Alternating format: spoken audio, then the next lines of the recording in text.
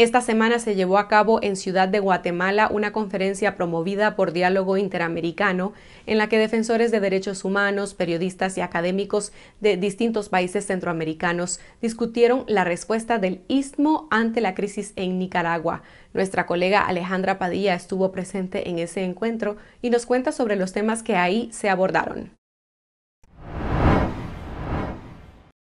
Este 29 de noviembre, defensores de derechos humanos, periodistas y académicos de Nicaragua, Guatemala, El Salvador, Honduras y Costa Rica realizaron una conferencia regional sobre la situación de Nicaragua, la respuesta y experiencia de Centroamérica.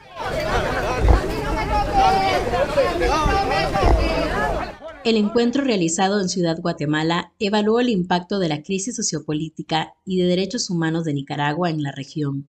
Es triste, es bastante difícil de creer la situación que se está viendo en Nicaragua porque em, nos sentimos que todavía estamos en un proceso democrático en crecimiento, que lo que sucedió en los 80 era un nuevo inicio para la región. Ciertamente eh, consideramos que ha cruzado una frontera en la que ya no solo es una crisis democrática de sistemas de elecciones, allá realmente un régimen autoritario consolidado y realmente una crisis humanitaria, ¿no? humanitaria porque hay persecución religiosa, persecución de, los activistas y de la ciudadanía en general. La sociedad costarricense sabe que hay una crisis, una crisis de legitimidad, una crisis por represión, una crisis por violencia, por violación de derechos humanos. El gobierno también, ¿verdad? Eh, creo que dos gobiernos ya han tenido este contacto con la crisis propiamente, con la crisis y con la acentuación del régimen. Dejaron de ser nicaragüenses hace rato, no tienen patria. La dictadura de Daniel Ortega y el cierre de los espacios democráticos en Nicaragua se ha vuelto un problema que trasciende sus propias fronteras. La principal afectación es que se está convirtiendo en un referente negativo que otros países están empezando a replicar.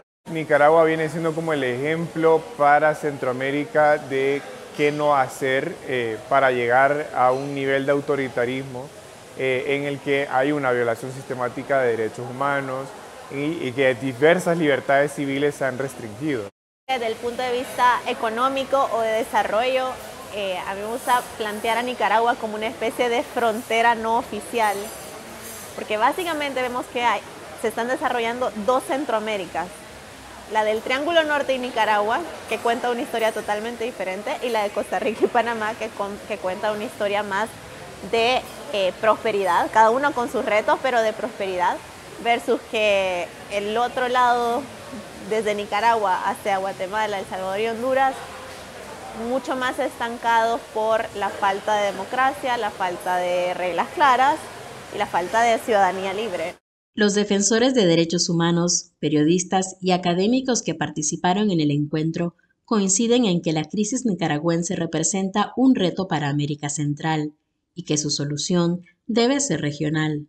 Hay una dependencia todavía o una relación, no, no lo llamemos una dependencia, llamémoslo una relación económica entre los dos países que ha impedido una ruptura, ¿verdad? O una crítica mucho más potente. ¿Qué realmente se puede hacer a través de redes de trabajo? ¿Cómo se puede visibilizar eso en nuestros países? ¿Qué mecanismos de eh, planteamiento de demandas se pueden hacer ante nuestros gobiernos?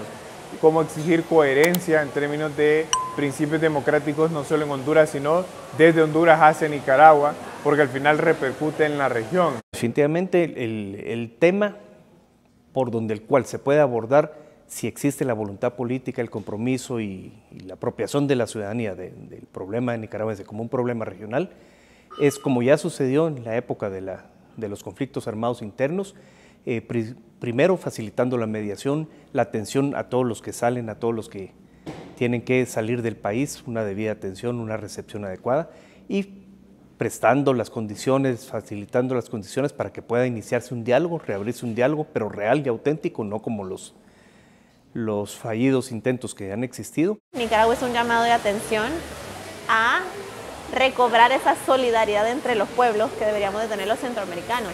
Y tal vez no es, los países del Triángulo Norte no están en una posición para que sean sus gobiernos los que representen eh, ese llamado a la democracia y al respeto de derechos humanos en Nicaragua, pero sí a que, por ejemplo, entre sectores privados seamos solidarios, entre activistas seamos solidarios. Gracias por ver este video. Con tu sintonía podemos vencer la censura televisiva en Nicaragua. Y si aún no lo has hecho, suscríbete a nuestro canal en YouTube. Necesitamos tu apoyo a Confidencial para seguir informando a nuestras audiencias y divulgando la verdad.